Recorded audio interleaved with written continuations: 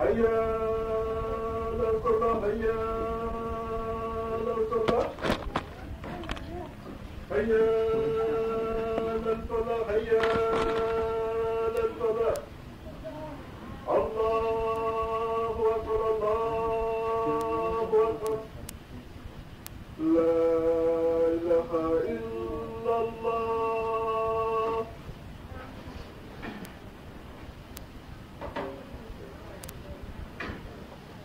الحمد لله الحمد لله الذي هدانا للإيمان والإسلام أشهد أن لا إله إلا الله وحده لا شريك له وأشهد أن محمدا عبده ورسوله اتقوا الله حق تقاته ولا تموتن إلا وأنتم مسلمون I'm afraid that uh, this khutbah is going to is a bit, uh, it will be longer than usual.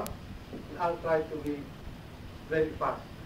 So I beg of you your attention and concentration. I have to go very fast. The khutbah, at the first part, will deal with the methodology or technique in understanding better or understanding the Quran, or how to get more out of the Quran. The second khutbah will be dedicated to just one example to illustrate the pointers in the first khutbah. Now let me just remind you about uh, three quotations from the Quran. You know this very well. Ustaz has repeated and re-repeated it. So let me repeat it again. First, we did not leave anything out of this scripture or book.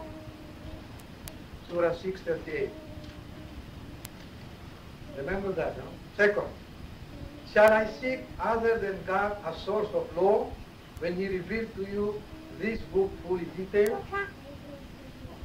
The word, then I'm skipping a line. The word of your Lord is complete in truth and justice. Surah 6, 115, 14, 15. The third one. After saying that uh, he and Allah had put the Quran together, after reciting it, he said, then it is we who will explain. I think it's very clear. Allah says He has not left anything out of the scripture. It is complete, perfect, detailed, and He will explain it. After He reveals or after the recitation. These quotations clearly imply that the questions raised by the Quran, see the Quran raises questions, or questions raised by Muslims will the answers of these will be found in the Quran itself. Alright? If we take these quotations the way Allah presents it to us, it means if the Quran raises a question, or if we raise a question, the answer must be found in the Quran. I hope you agree with me on that point. If not, then just uh, listen to what I have to say. Now, we must not look in the Quran for irrelevant or insignificant things.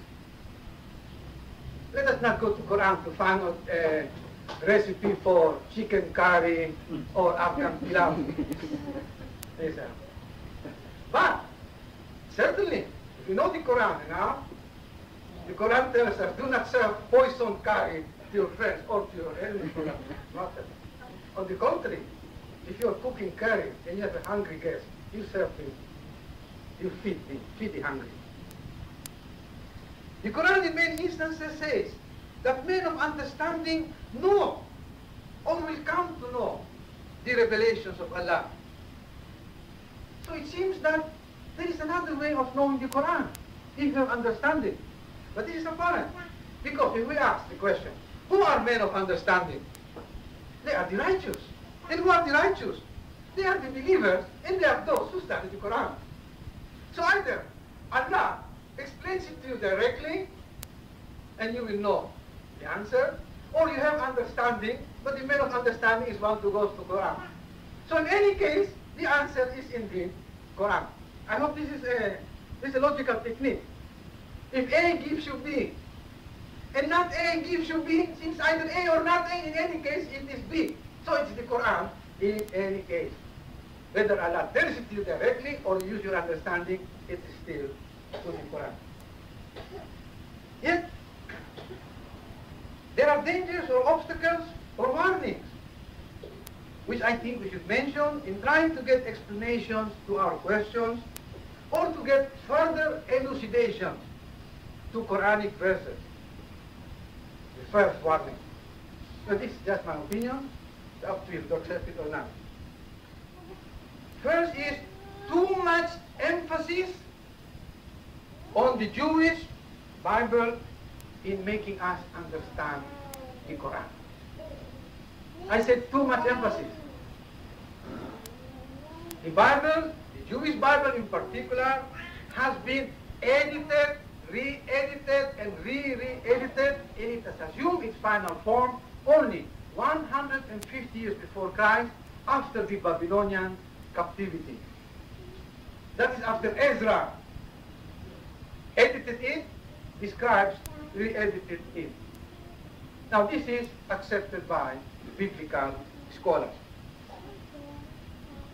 And Muslims must not have an inferiority complex by depending so much on the Jewish scriptures. Or, the other way around, Muslims should not be so proud that they know so much about the Jewish Bible. Because you'll find out, if you read the tafsirs of our ancestors, anything that is difficult in the Quran to them, they quote the Bible, not so much to help us understand the Quran, but to show that they know so much about the Jewish Bible. And in trying to show so much that they know about the Jewish Bible, they begin to forget their own Quran. Now this happens to learned Muslims. It is a defect which many of us have, including your humble self. It's showing off. I noticed that. I fall into the trap. I always want to show that I know the Bible, at least to show that I didn't waste 12 years in a Catholic school. now we have to be, we have to check ourselves, check our pride, that we know something about the Bible, and at the same time, not to have this inferiority complex. Because in the first hundred years of Islam, when there were discussions with Christians in Syria and so on, the Muslims had to show that they also knew what the Christians knew. But this is historical. We must also consider that the Jewish Bible serves national purposes, genealogical purposes. And that's the meaning of the editing. It's always to show that the Jews are a distinct people different from others. And this overemphasis that they are the chosen people makes them, in their editing, emphasize more what is to their direct interest. Also, it's not at all safe to always explain the Quran through the Bible as we now have it. But, there's a qualification, there is nothing wrong in pointing out certain correspondences between events or incidents or characters in the Quran and those in the Bible. This is not just a matter of scholarship, but it is a matter of developing our understanding. Please do not misunderstand me, brothers and sisters, or sisters and brothers of the may. I don't know what's the protocol. I'm not saying we should not consult the Jewish Bible. I said let us not overemphasize. On the contrary, it is good to show certain correspondences if, in the final analysis, it will help us understand the Quran. As long as the events are consistent, well and good. But when there are discrepancies, then the Quran must be the final one. It must supersede the Bible. Other things in the Bible can be dismissed as irrelevant to the Quranic message. Details about rituals, details about sacrifices, the lives of their kings, their adulteries, their incest, all of these things. This is all irrelevant. The great danger is to interpret or understand the Quran solely, exclusively in terms of the Bible, rather than letting the Quran explain itself, or letting Allah explain himself to the Quran. This, however, does not mean, as I said, that we must neglect the Bible entirely. On the contrary, as I will try to show, it will be of some help in giving additional information. But, as I'll try to show, it is an information that can be reached back by the Quran and must be thoroughly con be consistent with the Quran. Needless to say, just uh, bad if not worse, is consulting the Hadith to explain the Quran. This is superfluous, huh? There are people who use the Hadith to explain the Quran. I will not give examples of these because some of them are very, I mean, are very comical, I would say. In any case, this must be avoided. A criteria to guide us is that the Quran is flawless, totally consistent, as stated in Surah 18, verse 1. Quran also talks about masalans, examples, speaks of allegories, similitudes, analogies, etc., together with direct verses. And let me quote, talking of Allah, He is the one who revealed this scripture to you with perfect verses that must be taken literally as constituting the essence of the scripture. Other verses are allegorical, mutashabihat. Those who harbor doubts in their hearts dwell on the allegorical verses to create confusion and misrepresentation thereof. No one knows the correct interpretation thereof except God, and those well founded in knowledge, those who listen to Allah. Unquote. And uh, it's very clear, some people avoid the clear verses of the Quran, or rather, they concentrate on the allegories to forget the clear verses of the Quran in order to bring dissension and so on. But Allah does not tell us that we should not try to study these allegories. We should try to understand these allegories of the Quran, but not use them to create dissension. One of the ideas here of this verse is that such allegories must not be interpreted in an arbitrary manner so as to cause dissension for religious or sectarian motives. Their interpretation must be in terms of the Quranic verses in a consistent or logical manner. Allah says, Alif Lam Mim, a scripture whose verses were perfectly designed, then elucidated from the one who is wise, wise, cognizant. In brief, Allah himself declares that he explains or elucidates his allegories. In the second khutbah, we will have one example to explain all of these things that we have mentioned along theoretical lines.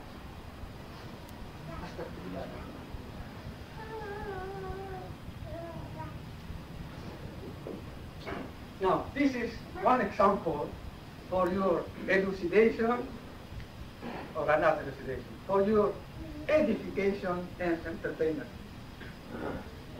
One subject only to illustrate what we have discussed. The problem of the nakedness of Adam and Eve. Okay? All of us, especially we who live in the Western world, are inheritors or victims of Western culture, of Western paintings, of Western movies, TVs, and so on. What do we always see? We only see Adam and Eve depicted as physically naked. Even before the so-called fall, huh?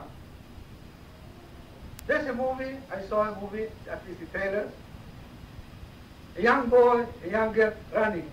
Well, there are leaves around, but they're naked. Then you see Michelangelo's paintings, happy, a happy couple, young man, a young woman, naked. So that is now in our mind. Now, paradise was a kind of a nudist colony.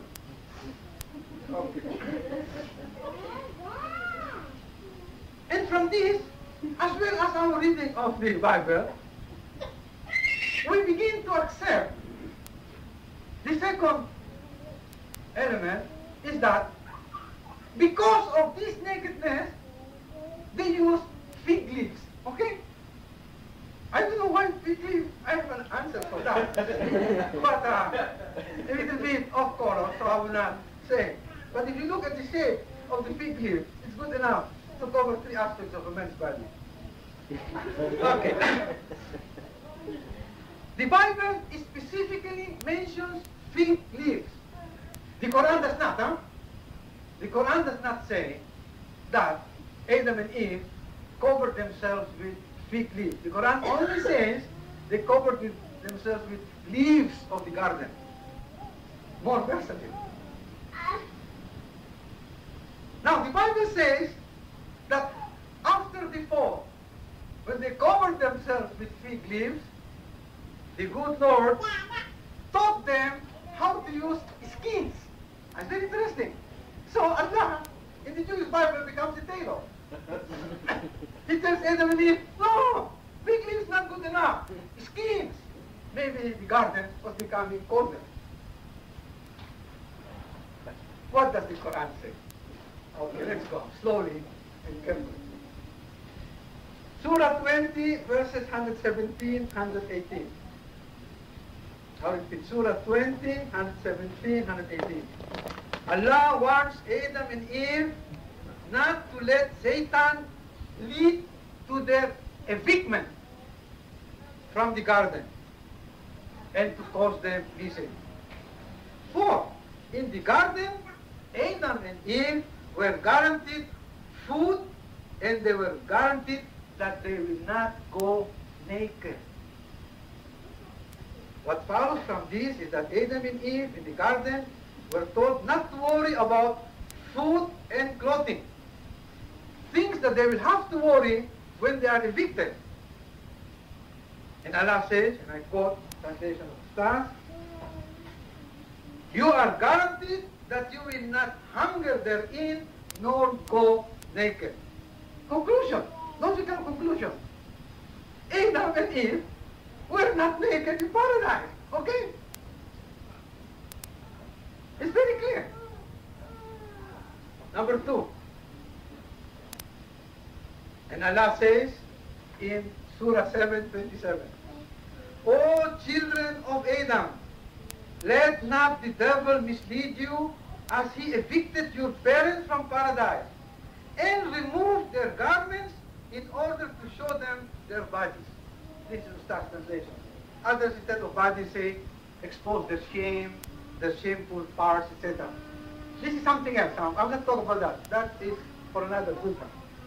Now, what will Allah say that the devil will remove your garment if you were naked? Huh? Allah says the devil will remove your garment. And if you combine that with the first, it's very clear they had clothes. In Surah 7, verse 20, uh, 27, Allah says very clear that Adam and Eve had garments which Satan removed from them or caused to be removed from them. Now, this is a digression. Translators, unduly influenced by the Bible, put a parenthesis after robe or garment. And they say, and Satan took away them from them the robes, they put parentheses of innocent, close parenthesis. Quran never says of innocent.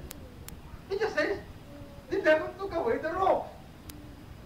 But translators, because they read the Bible, and they're still think of the Bible, and with inferiority complex, they say, oh, innocent. Because the idea is that Adam and Eve were innocent.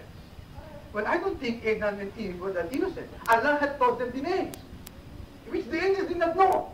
So they had knowledge. Were not a bunch of little kids naked. It's. It's more than that. Okay. Surah 7, again, 22, and Surah 21, 21 says that after they lost their robes or garments, they began to cover themselves with leaves of the garden, leaves from paradise. And in 7, Surah 7, 26, it's very beautiful, Allah reveals to them a better garment or raiment. Ah, very beautiful. You see, in Jewish Bible, they were naked, they put fig leaves, and Allah says, skins are better. Okay. Quran, They were clothed, they lost their clothes, and Adam and Eve made their own clothes on their own. It's very important, huh? on their own. Doesn't say Allah taught them, on their own. And Allah says, O children of Adam, we have sent down to you, or revealed to you, garments to cover your bodies for shame, as luxury. This is Ustaz's translation. Another possibility is of luxury, to cover your body in a splendid or magnificent manner. I, don't like the word, with all respect to Ustaz. I understand what it means by luxury. It's like something luxurious. But it just happens that the word luxury these days has a bad connotation, huh? See, people are trying now to be more modern. Nothing luxurious. But I understand what the luxury means. I think it means splendid or magnificent. And Allah says, the garment of righteousness is the best. Now again, translation of the Quran. They say, Allah did not like the leaves of paradise, gave them splendid garments, and then say, however, better than the splendid garments are the garments of righteousness. No, this is wrong. I think it's bad translation. I prefer Ustaz's translation when he says, the garment of righteousness is the best. Ustaz does not say that this is another garment, huh? Actually, I think the garment of righteousness is the very garment which Allah gave to Adam and Eve.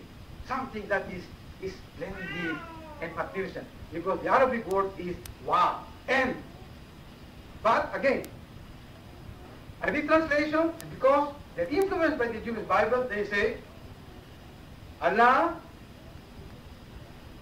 the Jewish Bible says, were leaves, and then Allah gives them skins. Then the Quran, Allah gives them splendid raiment. Then they say, Allah gives them splendid raiment, and then says, however, the garments of righteousness are better. No, these are the garments of righteousness. The splendid vestments are the garments of righteousness. In other words, Allah does not, did not bother with skins and so and so. He just gave them a garment, the garment of righteousness, which is better. Which is almost saying, better than the fig leaves are garments of righteousness. These are luxurious, magnificent, or splendid. So let's, to me this is only one robe. One robe is mentioned in Surah 7, 26. The garments of righteousness is the splendid or luxurious one. The Arabic is what? And.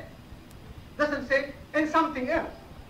He could refer to he is good and tall. That he is good now, then he becomes tall. He could be both good and, and. But let me not go into this logical aspect. Now let's go to the sequence. Adam and Eve are robed, their garments. Number two, they lost their robes. Number three, they made their own robes.